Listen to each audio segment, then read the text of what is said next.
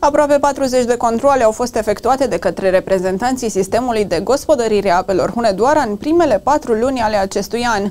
Au fost verificate mai multe balastiere și stații de sortare, spălare, agregare minerale, sisteme de alimentare cu apă și stații de epurare, aplicându-se și sancțiuni în valoare de peste 75.000 de lei, urmând a se stabili și alte amenzi în perioada următoare, după ce vor fi finalizate verificările. Au efectuat un număr de 38 de controle în perioada 1 ianuarie-30 uh, aprilie.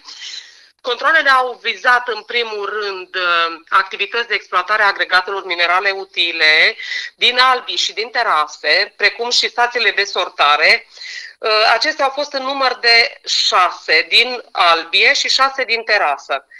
12 uh, controle au fost la stațiile de spălare a agregatelor minerale, apoi au fost efectuate un număr de 6 controle la alimentările cu apă și stații de epurare și un număr de 3 controle la depozitarea de deșeuri, uh, respectiv la păstrarea salubrizării cursurilor de apă.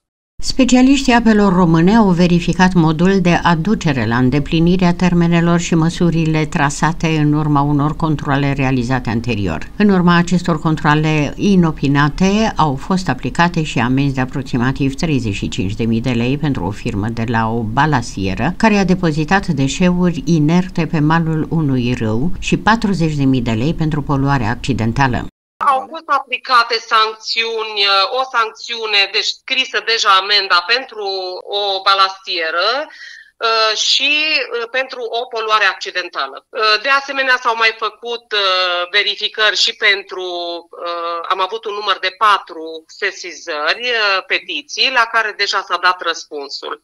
Inspectorii din cadrul administrației bazinale de apă Mureș, incluzând aici și personalul din cadrul sistemelor de gospodărire a apelor, în perioada ianuarie-aprilie au efectuat 273 de controle în domeniul gospodăririi apelor în bazinul hidrografic al râului Mureș. Cu ocazia efectuării controlelor de la nivel național au fost aplicate 23 de amenzi în valoare de peste un milion de lei.